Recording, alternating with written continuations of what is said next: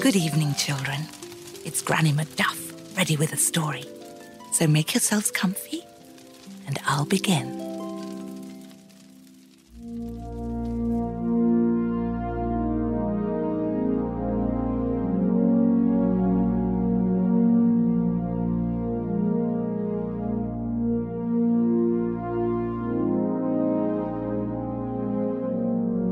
Once upon a time, in midwinter, when snow covered the earth, when the sky was bright and clear, when the air was fresh and clean, when the northern lights twinkled bright, when the streets were quiet, and the wind was as frigid and sharp as an elfin forged sword. The family sat in a warm, cozy room by the fire, just as I am now, as I read to you, little ones, telling you the tales of the olden days, telling you a legend. In the days of old, by the open sea, lay a Viking's grave.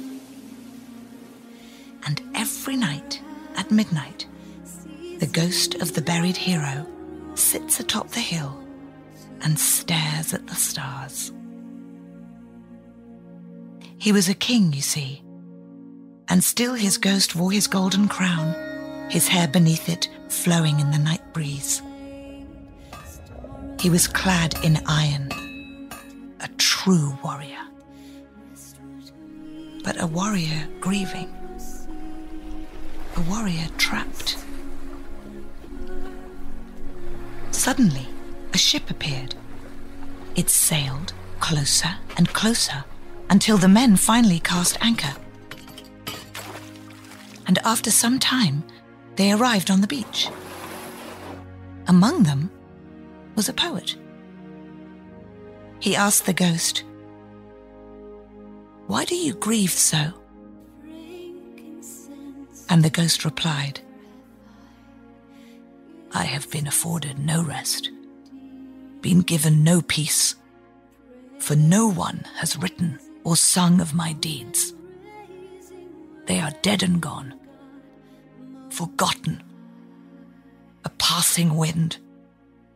No melody has carried them over the land and into the hearts of men. Tell me, King, for I am a poet. I shall sing for you. And so the ghostly king told him all about what he had done in life the great battles he had won, the people he had helped, the children he had had, and the wife he had loved. Then he said, Men would speak of me, but no man sung for me, for in my time there were no poets. The poet took his harp from his sack and began to sing of the hero, of the king, of the man. And the ghost disappeared.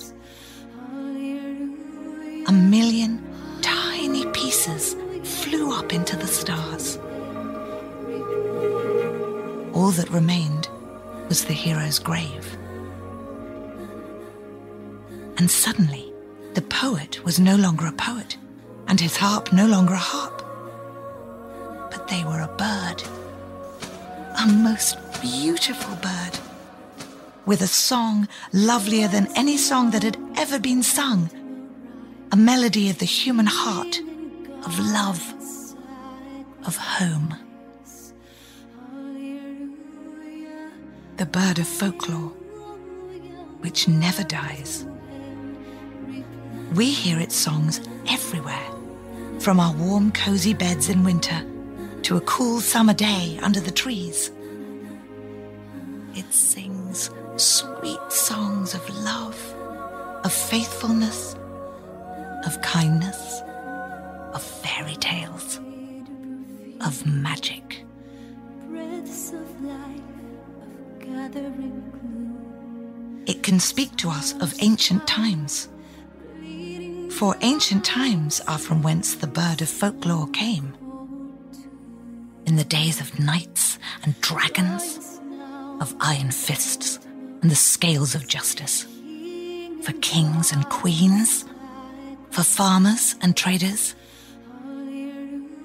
It sings for us all, for humans, for the world. And now it sings for us here in our time. The bird of folklore shall never die as long as there is music. It will carry our stories, our tales, our legends through time so that they are never forgotten.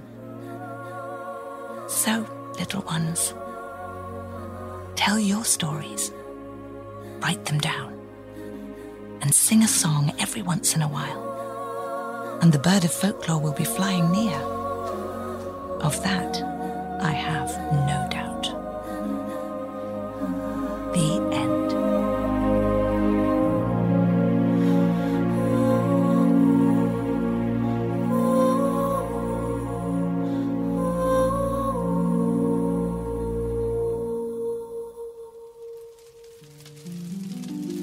Now it's time to take a deep breath, close our eyes, so that we may drift off into a world of our own adventure.